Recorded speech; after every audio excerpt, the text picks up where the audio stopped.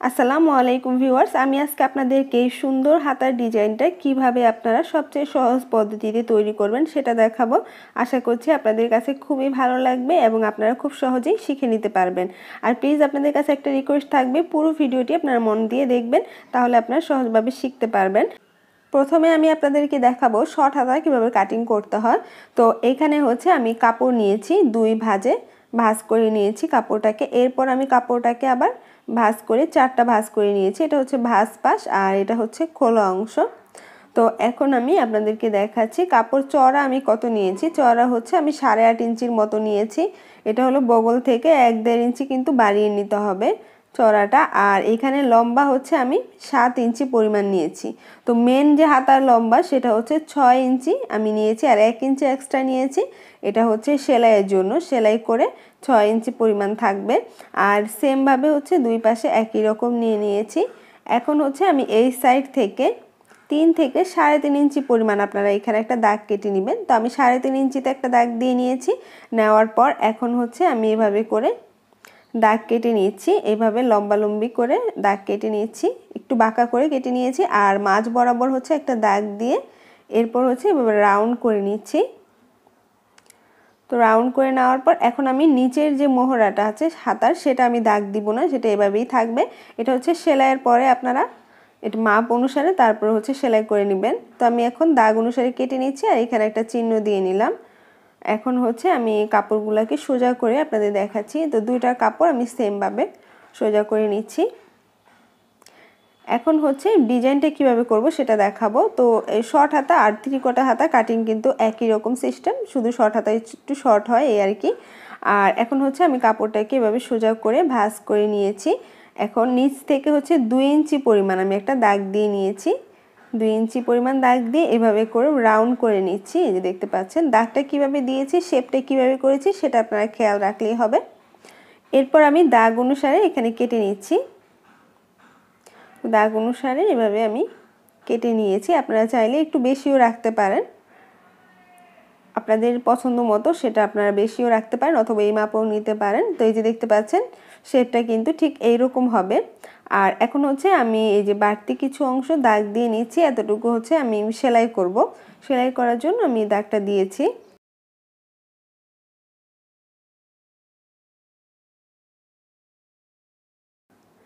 এই যে এই সাইডটা হচ্ছে আমি সেলাই করব না, আর বাকি যে অংশগুলো আছে সেগুলো সুন্দরভাবে আমি সেলাই করে দিচ্ছি। এই যে দেখতে পাচ্ছেন, এভাবে ঘুরিয়ে ঘুরিয়ে তারপর হচ্ছে পুরোটা সেলাই করে নিচ্ছি। একই নিয়মে আমি আরেকটা যে কাপড় আছে সেটা সেলাই করে নিচ্ছি। আরেকটা কথা, এখানে কিন্তু একটা হাতার কাপড় আমি নিয়েছি এবং একটা হাতা সেলাই করে নিচ্ছি। আপনারা হচ্ছে একই মাপে, একই রকমভাবে দুইটা হাতা তৈরি করে নেবেন। আর এখানে সেলাইয়ের পরে আমি সেলাইয়ের বাইরে একটু করে কাচির মাথা দিয়ে কেটে নিচ্ছি। এটা ফিনিশিং লুকটা সুন্দর আসবে। তো দুইটা কাপড়ই হচ্ছে সেমভাবে সেলাইয়ের বাইরে কেটে নেওয়ার পর এখন হচ্ছে আমি এটাকে উল্টে নিচ্ছি। তো একইভাবে দুইটা কাপড় উল্টে নিতে হবে। উল্টে নেওয়ার পর এটা চাইলে আপনারা আয়রন করে নিতে পারেন এই অংশটা। আয়রন করে নেওয়ার পর এই যে দেখতে পাচ্ছেন, এই কাপড়টা মাঝখানে যে ডিজাইনটা করেছিলাম, সেই টুকরো কাপড়টা। তো এই কাপড়টা হচ্ছে আমি এখানে পেস্টিংয়ের উপর বসিয়ে নিচ্ছি। অর্থাৎ এই মাপে হচ্ছে আমি পেস্টিংটা কাটিং করব। তো এই জন্য আমি এখানে চক দিয়ে হচ্ছে বাইরে যে অংশটা আছে, সেটা দাগ দিয়ে নিচ্ছি। মানে কিছু অংশ কাপড় আমি বাইরে রেখে তারপর হচ্ছে দাগ দিয়ে নিচ্ছি এক্সট্রা রেখেছি, এটা হচ্ছে সেলাইয়ের জন্য। এরপর হচ্ছে আমি এখানে দাগ অনুসারে কেটে নিচ্ছি। যে দেখতে পাচ্ছেন, আপনারা চাইলে এখানে পেস্টিংয়ের বদলে বক্রম ইউজ করতে পারেন। তো এখানে হচ্ছে আমি কালো কাপড় নিয়ে নিয়েছি। আপনারা আপনাদের যে কোনো কালার কাপড় ভালো লাগে সেটা নিয়ে নিতে পারেন। তো এখন আমি এক সাইড থেকে বসিয়ে নিয়েছি। তো এই সাইডটা আমি সেলাই করব না, বাকি অংশটা আমি সেলাই করে নিচ্ছি। সেলাই করে পুরোটা আটকে নিব। আপনার চাইলে এখানে আয়রন দিয়ে আটকে নিতে পারেন, সেটাও আরও সহজ হবে।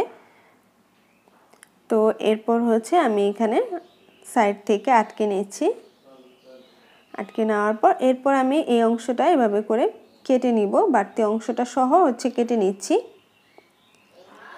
দেখতে পাচ্ছেন। বাড়তি অংশটা সহ কেটে নেওয়ার পর এরপর হচ্ছে আমি ওই অংশটা আবার একইভাবে কাপড় উপর বসিয়ে নিব। এটা হচ্ছে যাতে কম কাপড় লাগে সেই জন্য আর আপনারা চাইলে এক একবারেই হচ্ছে দুইটা কাপড় ভাঁজ করে নিয়ে তারপরও আপনারা করতে পারেন। তো এরপর দুই সাইডে আমি সেলাই করে নিয়েছি। নেওয়ার পর এখন হচ্ছে আমি কেটে নিচ্ছি।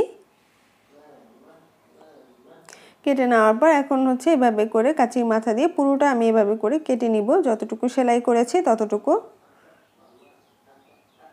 তো এখানে কেটে নিচ্ছি। নেওয়ার পর এরপর হচ্ছে এখানে যে ফাঁকা অংশটা রেখেছি, সেই অংশটা থেকে এখন আমি উল্টে নিচ্ছি। সুন্দরভাবে উল্টে নিতে হবে আর কাঁচির মাথা দিয়ে এভাবে আস্তে আস্তে করে এটাকে ভেতর থেকে সোজা করে নিতে হবে। তো আমি সোজা করে আয়রন করে নিয়েছি। আর এখানে যে ফাঁকা অংশটা রেখেছিলাম, সেটা হচ্ছে আমি এভাবে মুড়িয়ে কাপড়টা ভিতরের দিকে দিয়ে তারপর হচ্ছে সেলাই করে নিব। তো এখানে কাপড়টাকে আমি ভাজ করে নিয়েছি। দেখতে পাচ্ছেন, এখন হচ্ছে এটা এভাবে ভাজ করে দিয়ে তারপর সেলাই করে নিচ্ছি।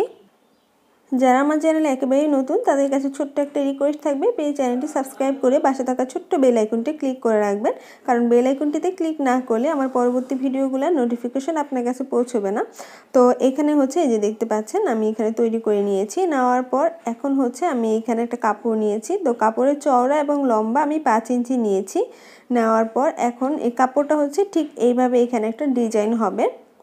তো এখন কাপড়টার দুই অংশ আমি সেলাই করে নিয়েছি মানে দুই পাশ থেকে দুই অংশ সেলাই করে নিয়েছি। আর হচ্ছে দুইটা সাইড আমি সেলাই করব না। তো এই যে দুইটা সাইড আমি সেলাই করে নিয়েছি, দেখতে পাচ্ছেন? দুইটা সাইড সেলাই করে নেওয়ার পর এটাকে আমি এভাবে সমান করে ভাঁজ করে নিচ্ছি নেওয়ার পর এরপর মিডলে একটা দাগ দিয়ে নিচ্ছি, যাতে করে বুঝতে পারি মিডলে দাগটা দেওয়ার পর এখন হচ্ছে আমি এখানে সেই মিডলে দাগ অনুসারে হচ্ছে আমি এখানে সেলাই করে নিচ্ছি। তো এখানে বড় বড় ফোট দিয়ে তারপরে সেলাই করে নিচ্ছি।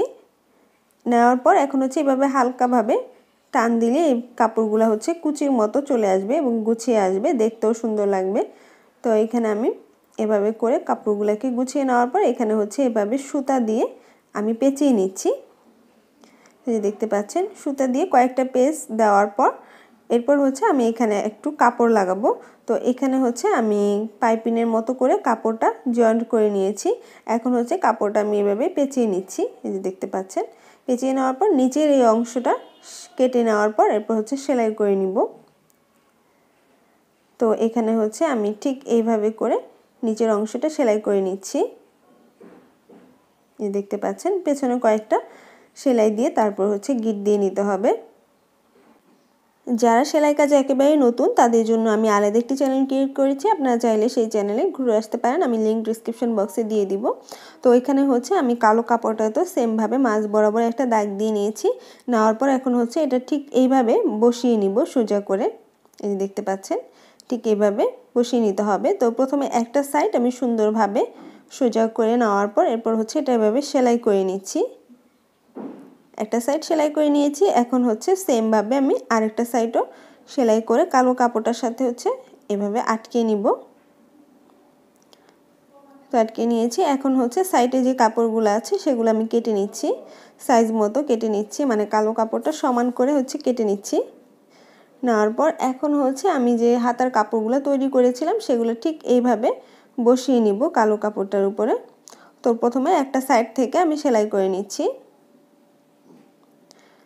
তো একটা সাইড থেকে এভাবে করে সেলাই করে নিতে হবে।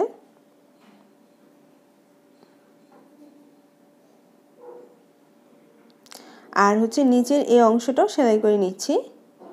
এখন হচ্ছে আরেকটা সাইডও সেমভাবে আমি জয়েন্ট করে নিচ্ছি।